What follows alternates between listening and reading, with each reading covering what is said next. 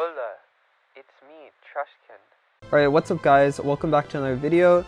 Um, my name's Slash, I'm the world champion of Pokemon Unite, um, widely known as the best defender in the world.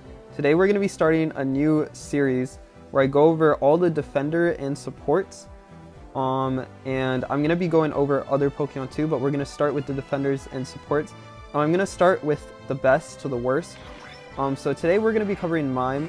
Mime isn't necessarily the best in 5 stacks in competitive, but in solo queue it is definitely the best defender.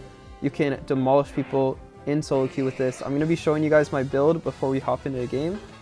Um, so this is what you want to run in 5 stacks. However, today, since we're going to be playing solo queue, um, I'm going to be playing special attack specs, focus band, and EXP share.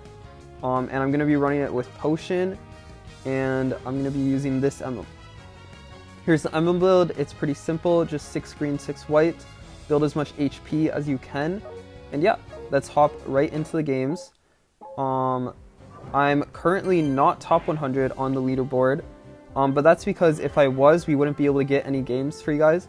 And I do want to try recording these games on my main account, um, which if I was like top 10, which I usually am, um, the queues would take like 5-10 minutes and we'd be on pain.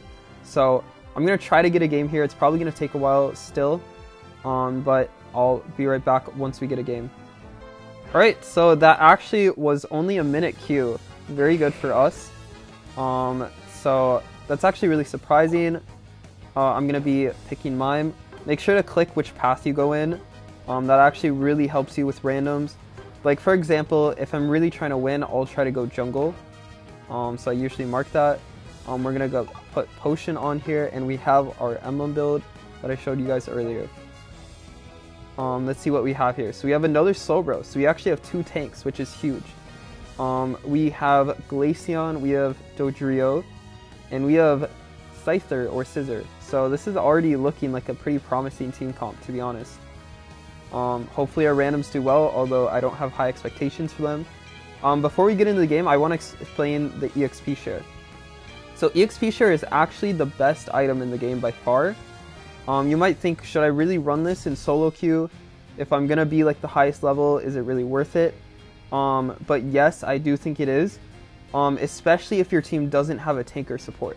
So this game, we have a Slowbro, so I could technically hope that they run EXP share and I don't have to. Um, but to be safe, we're going to run EXP share, and even if we have two EXP shares, it's fine.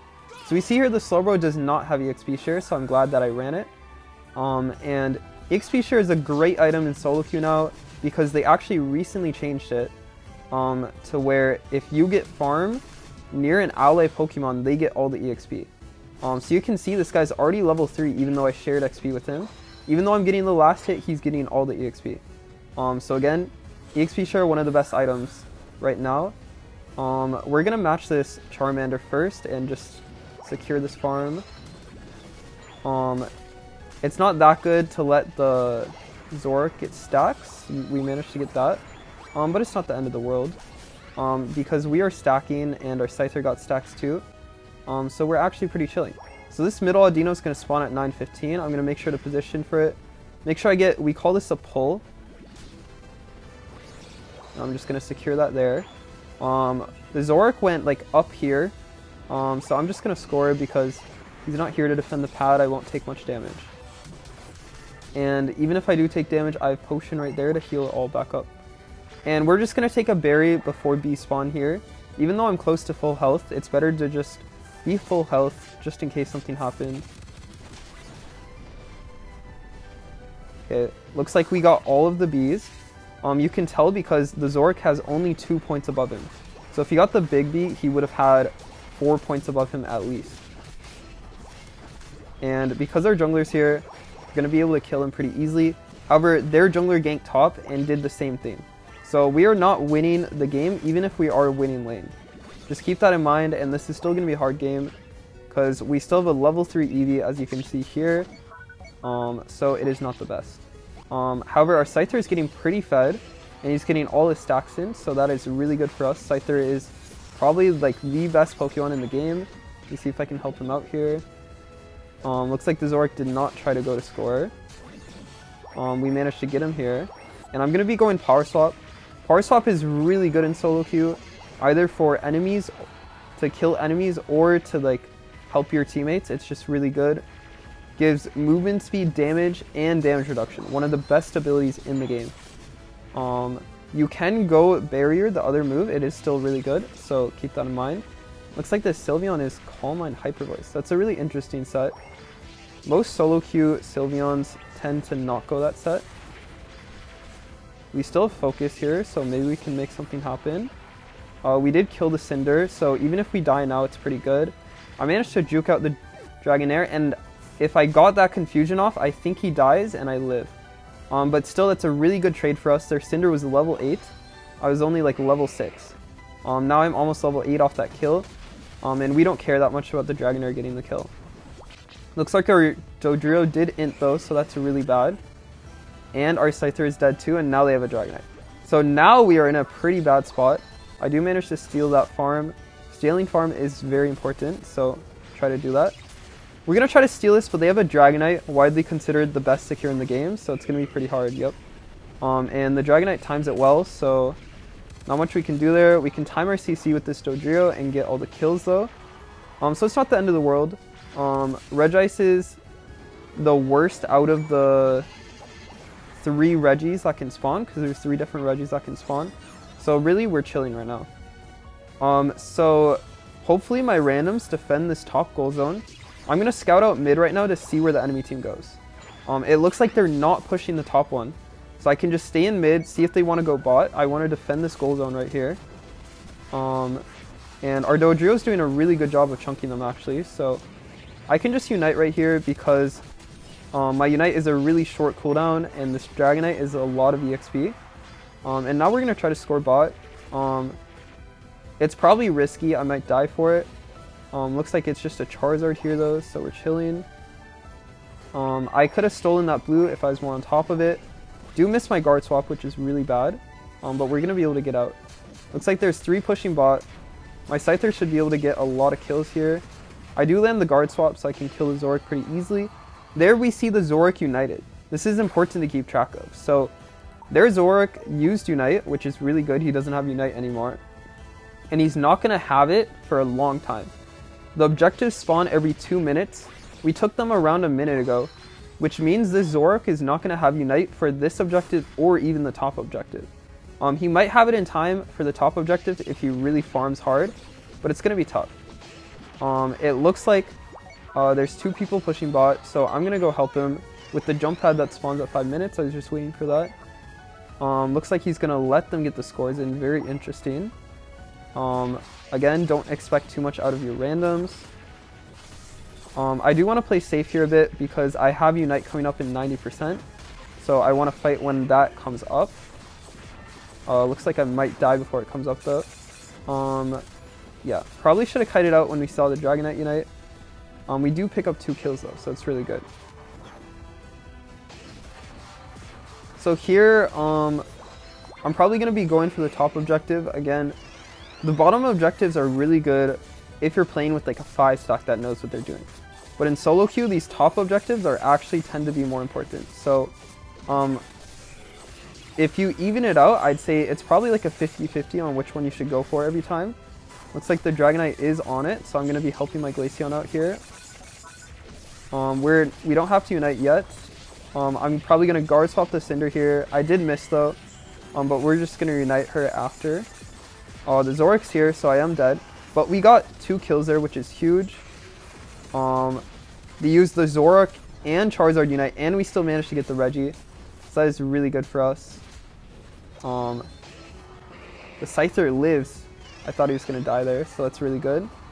Um, it's going to be hard to push this in, but we are chilling on EXP. And we're doing decently on points. We're not that much ahead, but it's not the end of the world. Usually the Ray fight is what determines most solo queue games. So as long as you're not like 300 points behind, um, whoever gets the Rayquaza will typically win. Um, especially when you're playing someone like Mime that can solo these objectives. I'd be a lot more worried about points if I was playing someone like say say a defender like Blissey that can't solo the Rayquaza. So if we needed to do the Rayquaza, um, and my teammates weren't doing it, we'd be in a really bad spot. Um, but since I'm playing Mime, um, I can always just do the Rayquaza on my own. I'd be able to do that really easily. So that's why I'm not too worried about points. Um, we are like ahead, I want to say like 50 points, but they've scored a lot on our tier 1 here, so I'm actually not sure how ahead we are. And we're, we should be able to stop the Cinder score, let's see. Oh, you actually we're not able to stop. And for some reason someone on my team wants to surrender. Looks like it's because two people died. Um, they are going to be chasing me a bit here. Let's see if they go for this bottom objective. There's no top objective. If they do go for this, I can maybe unite them, try to steal it. Um, another great thing about Mime is he has great secure. Looks like they are ripping it. Okay, we did manage to steal it there. Uh, I'm going to try to help my Scyther here. And looks like we're about to pull off like a 2v5.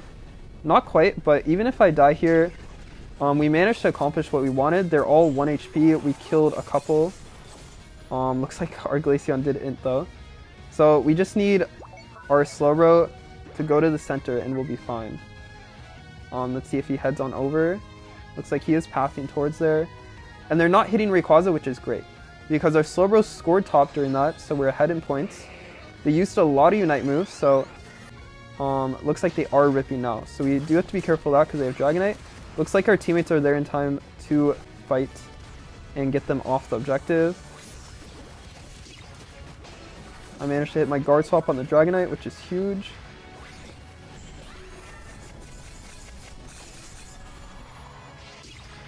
Okay.